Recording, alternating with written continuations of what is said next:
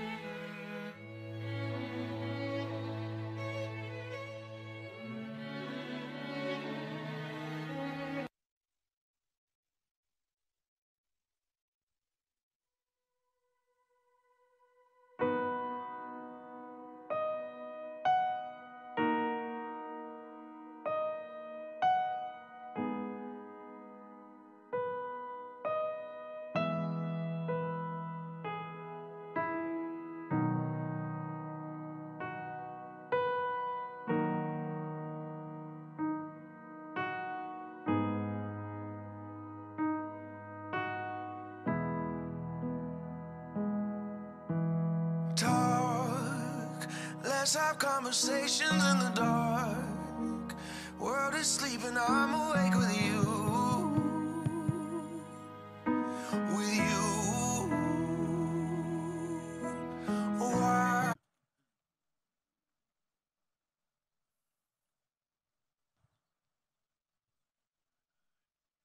You may be seated. Wow. What a beautiful day for us all to be here together, celebrating the love of Rudy and Emily. I'm so excited to be here, to be able to be a part of this. Thank you guys for letting me be a part of your lives. You know, this moment is so special. What you've been through, doesn't matter what you've done. If you're alive, first of all, if you made it through the pandemic, you have a reason to just say thank you, Jesus, even right now. To be here present, you're so blessed right now. But if you're alive, there's hope for you. Hope for a beautiful picture of true love with Jesus Christ. And this marriage shows that to us today. Isn't that beautiful? Unconditional love is good days, it's bad days. So, whenever you listen to the Bible, this is where a lot of people get lost with the church sometimes, and you hear the Bible talking about best practice, best practices for marriages, everybody gets caught up in the part 22. Emily, this is all about you. This day is all about her, huh? Amen. it says, He who finds a wife finds a good thing, a wife, not a side chick, not a tailpiece. no, man. He who finds a wife. There's a difference between just finding some girl, right? That you're, oh, yeah, yeah, I mean, my girl, whatever. No, no. But finding a wife. Wow. It says, finds a good thing and obtains favor from God. And this is all I want to say with that today, Emily. After salvation in Jesus Christ, marriage is the second most important decision of your whole entire life. A spouse will make or break you. Yeah. Somebody say amen to that. will make or break you. Let me just say something about this. You think you guys see something beautiful now? This is beautiful. But the favor that God is about to unlock on their life because Rudy found Emily, it's going to be a beautiful, a beautiful picture. There won't be any comparison. There won't be any comparison. There, you're not even going to wonder eventually because you know when you first get married, the devil will come in probably around year 3.5 and be like, "Are you sure you should?" I'm like, "Another girl." I'm gonna tell Emily, "Hey, you know what? I don't know, blah Rudy, blah blah blah." The devil likes to come in and do that kind of stuff, but the picture that God paints as you just stay together, literally, as you just stay together, the favor that God is going to unlock on you guys. See, marriage is so important to God that He loves making good examples out of people that are willing to follow Him. And what I believe is that God is going to make a good example out of you guys. And people, when they look at them, they're going to want to live for Jesus when people look at them, they're going to say, if they can do it, I can do it too. These people are going to be walking calling cards of the love of Jesus Christ. Like they're going to and be like, "Oh, I get it. I get love." Have you ever watched a movie and it makes you like, "I believe in love." That's what people are going to think when they look at you guys. They're going to say, "I believe in love." People that didn't believe in love, they're going to be set free. They're going to say, I believe in love again. When they see your guys' ministry, we won't talk about that today. Let's talk about love today, but it's going to be ridiculous what God does in your life. And I really mean that with all my heart. I believe that and I see that. I know marriage is not usually a time of prophecy, but I believe it. I see it. I see God doing a great thing. Rudy, what God has given you and Emily, there is nothing, it, it couldn't have been anybody else. It couldn't be anything else. I'm telling you. And Emily, what God has given you and Rudy, people, I'm telling you, when they look at you guys separate in the years to come, they're gonna be like, "Where is the other?" That's gonna be their nice way, nice way of saying, "Where's your better half?" Because together they make something perfectly whole and beautiful in the eyes of God. Amen. At this time, I'm going to um, step out, and Rudy and Emily have prepared special vows for each other. Following this time of their personal vows, our pastor, Pastor George, is going to come and give the traditional vows, and we're going to say uh, a special prayer. So I'm going to turn this part over to Rudy and Emily. Guys, if you can hand me that mic over there so we can make sure that we hear exactly what they're saying, because this is going to be a very precious moment.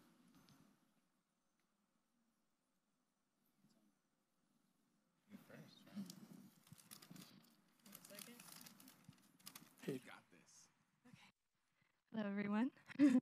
Hello. Okay. Okay. Um, Rudy. Is this on? Okay. Rudy, you are a dream come true.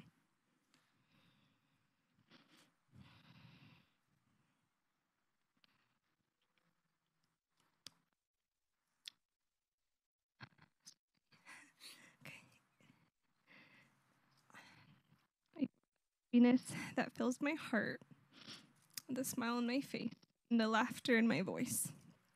I'm so honored and privileged to be called your wife. In a few minutes. I knew you were a special person just by watching the way you treated others. I knew I would always have someone to guide me by watching the way you led others. I knew I would always be taken care of by watching you go out of your way to take care of everyone else. I knew you'd always support my dreams and passions because every time I picked up a new hobby, you'd buy me a master class just to make me happy, knowing I'd find a new hobby next month. The truth is, I loved you way before I even met you because you were the person I had been praying for all along.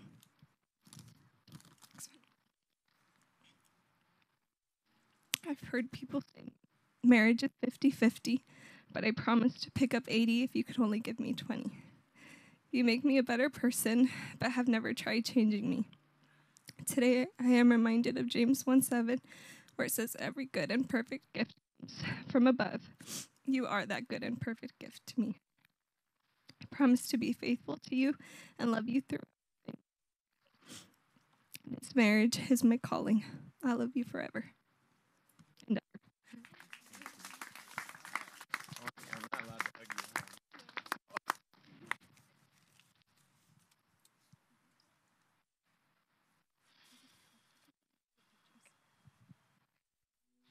Cried so much. So let's see. I, uh, so give me a second. okay. Emmy, I waited for you. And I know that sounds crazy, but the reality is all of mine and my family's prayers. God's back for me. Let me Those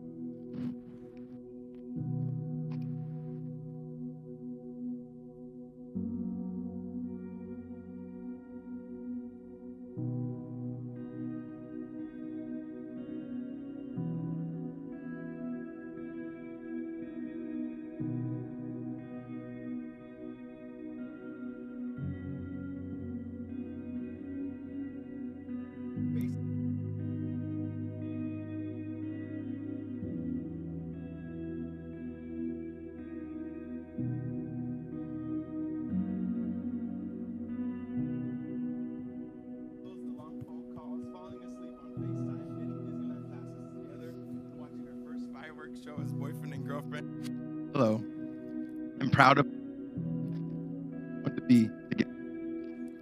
Back, I think, I think back on our earliest conversations. I won't move from this moment, this place, and I laugh, just like we did. Even before we were officially a couple, we dreamt about our then together. What our lives would be like, our ministries, being parents. Funny because soon later, your dream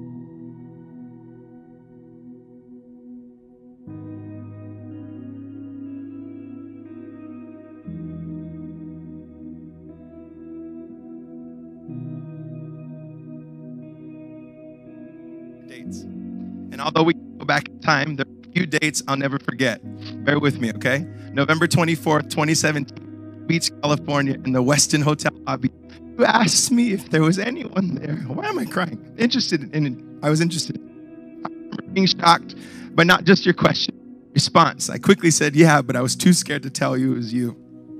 Later that night, you and Bridge took a selfie on my phone, and I posted it later, hoping you would call me or text me or talk to me.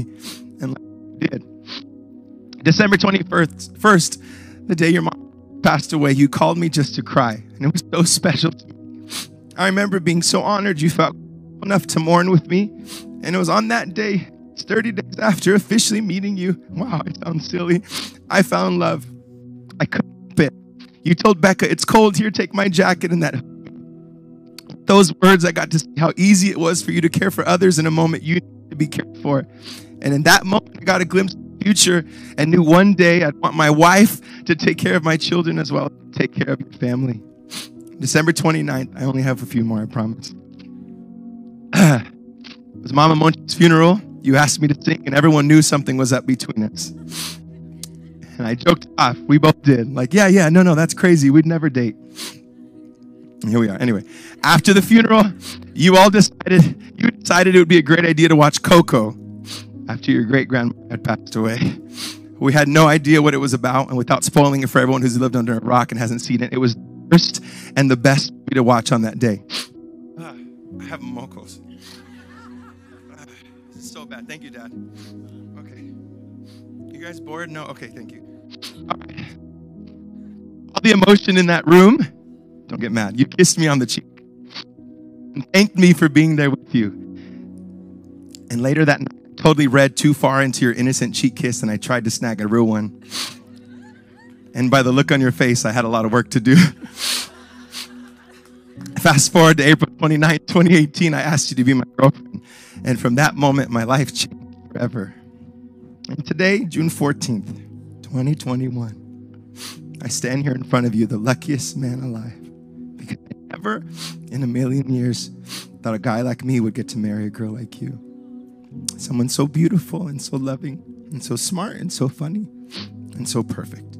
Thank you for the joy and the love you bring into my life. And thank you for choosing to spend your life with me. And me, I want you to know that more, no matter what we go through in this life, I'll always be here. You kind of stuck with me now, actually. I promise to watch every cheesy romantic comedy with you, even though you've fallen asleep every time we watch a Marvel movie, every single time. When you're down, I promise to be here to lift you up with a box of burnt Cheez Its and a pina colada slushy in hand. I promise to never forget your favorite snacks or your Chick fil A order. And when you're, when you're scared, I promise to be here to comfort you. I promise to watch. Uh, when you're worried, I promise to hold you close. I commit to always encouraging you to be all that you want to be. And for what I can't fix, I promise to always remind you of the one who can. I can't promise I'll be perfect, but I can promise I'll work every day to love you. Jesus does. I love you.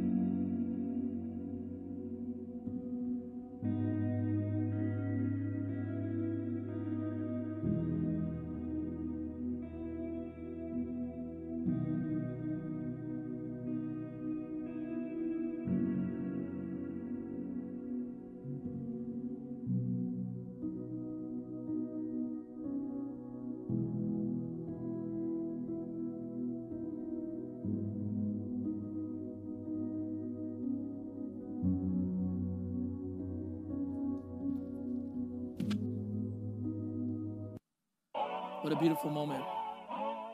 Well, here's the moment we've all been waiting for. By the power vested in me, by this great state of California, and God. I now pronounce you man and wife.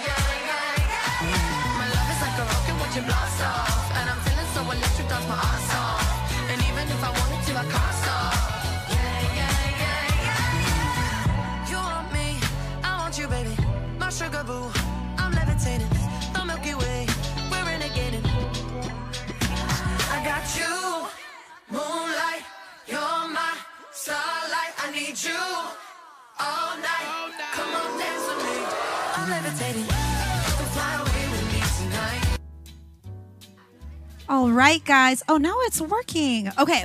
You guys, yeah. if you guys could just wait just, just a moment, there will be beverages and some um, light snacks over here, but do not enter the reception area quite yet. You're more than welcome to just hang out for just a second. V is very, very.